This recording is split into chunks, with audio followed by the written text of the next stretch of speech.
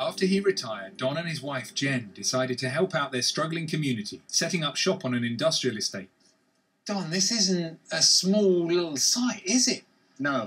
This is our warehouse. Don and Jen founded Cornwall's first independent food bank. It's now one of the biggest in the country.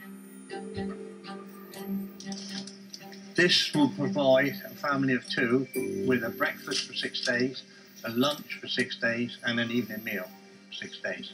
How many families are you feeding from here, Don? Somewhere in the region between four and five hundred families a month. I get dads that can't eat for three days to feed his children. We, we have families who come in and say, Can we have food that we don't need to cook? Because They haven't got enough money to put in their meter. And we're standing here, and if you went up on the roof, you could see a beach. But there's children in this town that's never been there. No. Yeah. When Don and Jen started the food bank 12 years ago, they were serving 72 meals a month. Now it's a staggering 14,000. Hundreds of families depend on the food bank. It's the scale of what you're doing here that I find particularly, I was going to say overwhelming, but it's quite humbling as well. I can't do it without people giving me this. I can't do it without 74 volunteers. Forgive me for doing this, Don, but you're talking to us now, and your beloved wife, Jen, has just passed away. Her funeral is tomorrow, Oh, yeah. Yeah. And you still wanted to talk to us.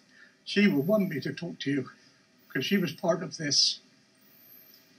I know Jen would want me to tell people the hurt, the deprivation, the constant worry of where am I going to get next week's money from. It's a lot of weight on those shoulders. But I wake up every morning and I say in my prayers in the morning, please, Lord, help me to make a difference to somebody today. And that's it. That's what I do.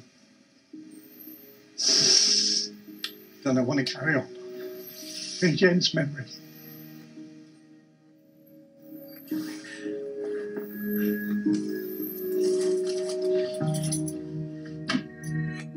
I'm going to follow carefully.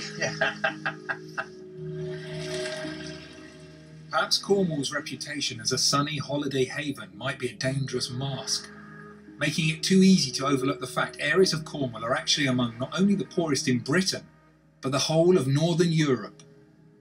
For a long time, there was some graffiti up around here that's since been removed, but I do think it was very pertinent and appropriate. And it said something like Cornish lads are fishermen, and Cornish lads are miners too.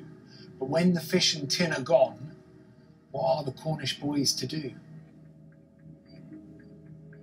For me, Don's a total hero. He and his team of brilliant volunteers deliver food all over the Camborne area. During the pandemic, demand began soaring as the hospitality and tourism industries were hit hard.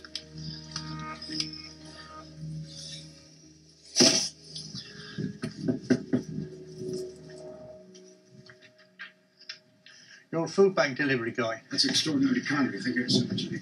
You're not the typical looking person that one imagines is a client of a food bank. No. My recent background is hospitality, running hotels. Running, uh, Running hotels as a hotel manager. is this a little extra help or is it critical lifeline? Good lifeline. Yes, I want to work. Of course I do. I just all got a bit pear shaped at the moment. How many jobs have you gone for in the last few months? In the last six, probably in the last six months, probably in total 250. Speaking from personal experience of being unemployed for just over a year, I found it hard to step outside the door. Mm-hmm. So I've become a bit, bit of a recluse in the last few days or the last few weeks. You know, even having shaves an effort. Thank you, Guy. Good luck to you, all right? Pleasure. Thank you.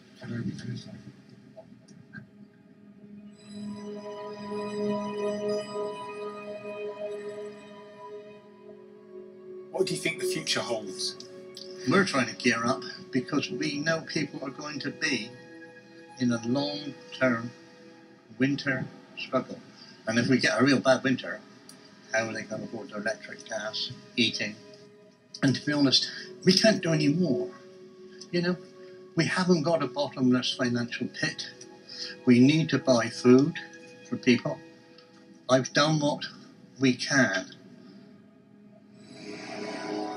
Wages here are low, up to £4 an hour lower than the national average, while poverty and unemployment in Camborne is just too high. And it's often the young who are being particularly hard hit